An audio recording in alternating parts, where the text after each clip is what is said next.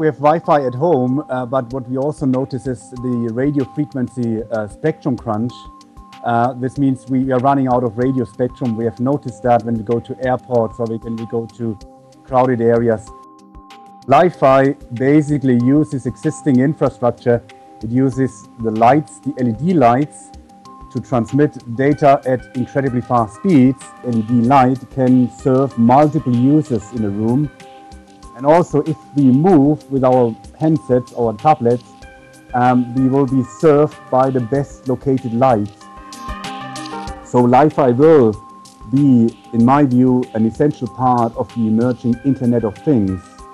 In the future, we want to connect all our energy consuming devices at home to the internet in order to monitor the energy consumption and also to control the energy consumption. The other application is for car to car communication. When we drive behind a car, we can't see uh, sort of uh, ahead of the car. But now let's imagine that the car in front of us has a camera integrated at, at the front and is relaying via the backlights information to the car behind so that we can now enhance the vision